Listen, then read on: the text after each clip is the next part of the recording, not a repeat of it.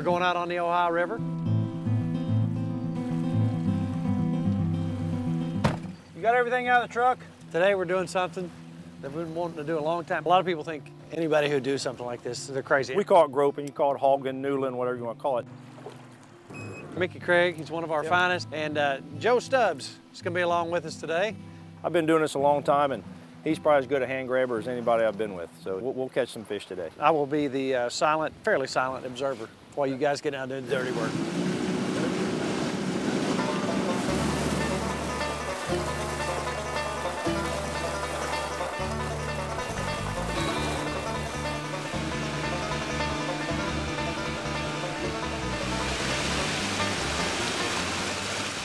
And you do it, uh, as we call it, under fair chase conditions. There's a lot of natural uh, stuff out here that you look for. If you got to know where some holes are, got to be the right time of the year, which is when. The catfish go to spawn when the water temperature approaches 80 degrees. We're gonna go out and we're gonna find crevices. Okay, when I talk about a crevice, a catfish, he wants to go in a hole where there's one way in, one way out. Nature has him to protect those eggs. The male and the female will go in about the same time. She'll squirt the eggs, he'll run her out, and then he'll stand there and guard the eggs. That's rare in nature. Usually, the guy does his part, and then he's, he's like out of there. But in this situation, he actually guards the nest. So you're, you're looking for basically big males. We're, we're going to concentrate on big catfish, fish anywhere from 20 pounds plus. We're fooling in areas out here where we got big hunks of concrete, we've got uh, maybe old barges, and some of these holes go back six, eight, 10 feet. The first thing we'll do is go down and feel for a hole. We may feel with our feet, uh, we feel for our hands, and we'll go back and see if we can locate a fish. If when you go into the hole, if there's a fish in there, that hole is going to drop down because that fish is in there fanning, and he's fanning, he's creating a, a crevice. So the second Joe or me go in there, when that hole drops down, we're thinking fish right off the bat. Next thing, we're gonna feel for a fish, and a fish feels like a fish. We'll just feel. If it's a male and female in there, we'll pet them moving around. I'll come up and say, Joe, give me a stringer, okay? He'll give me a stringer, we'll go back and we'll try stringing. But if the hole goes back and we can't feel, we've got these sticks that we can use. You notice there's no hook in here. It's easier to feel for a fish. You're going back, you're feeling, feeling, feeling without a hook. Feel, feel, feel, bonk, you touch him. You bring the stick back out, you put the hook in, you go back in, you touch the fish, you slide it underneath the fish and si- just give a little jerk. You don't yank it hard, just enough to give it a little jerk. You let the string go, he pulls the hook out, you take the stick out of the hole and you got the fish on string. Then you work him up, work him up, then you go down and you try to find him and grab him to string him underneath the water and bring him on out of the hole. Big fish. Well, don't let him out of the hole. We're gonna go down and ease this fish up to the mouth of this hole. I'm gonna go in, and I'm gonna reach and grab him and try to string him. Gotcha.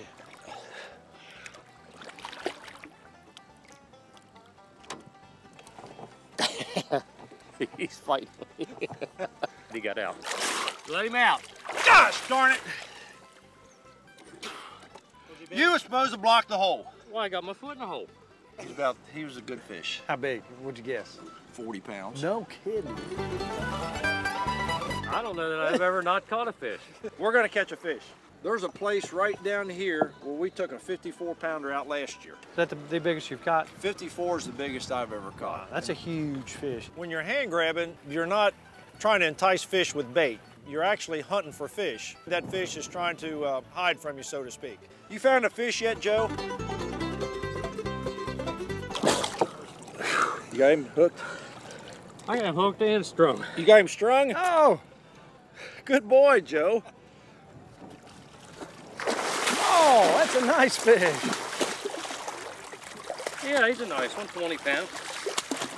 Okay, it's a boy, so we, we're gonna keep him. If it's a girl, we turn her. Turn her Now, how can you tell? Just for those folks who Well, don't. the way you tell is a female, she'd have a big belly full of eggs. Because as soon as she squirts the egg, she's gone.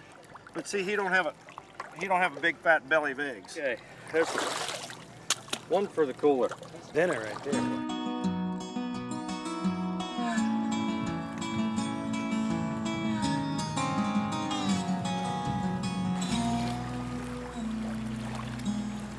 The thing about this ramp here, my buddy Joe one time, he was fishing this hole, I was fishing that hole. He says, Mick, I think I feel him. I said, catch him. He hooked my foot. You'll heard him yelling.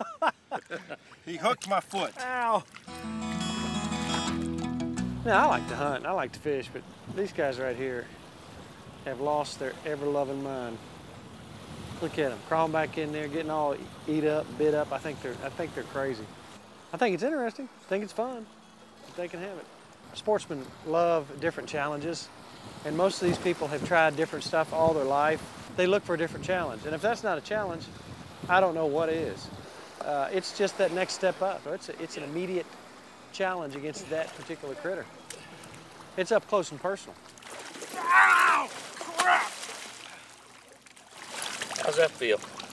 And they can get pretty aggressive. A lot of times those fish are going to bite you. And he's got a pretty big mouth on him. You can see, you know, sometimes they'll grab you. And These fish don't have teeth like a muskie or, or uh, you know, a walleye, anything like that. But they, this is like the roughest grade sandpaper. And I'm telling you what, I've seen guys come out bloody. he whopped us pretty good.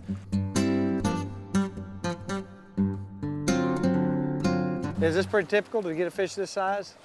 Pretty much this time of year uh, or bigger. If you catch a 35 pound fish um, during the day, that's a pretty successful day. Uh, but we have catch them as big as 50 pounds and 40 pounds. 20 pound is very, very, very common because the 20 pound fish is probably the best reproducing fish. But this is kind of what we're after. We're after the big fish. And if we catch a big female like this, we'll generally put her back. Uh, we'll keep some of the males, uh, but uh, the smaller fish, the smaller flatheads, we usually turn them back. I tell you what, this is this is just fantastic. A lot of viewers are going to really love seeing this, and uh, let's get another one. Let's do it.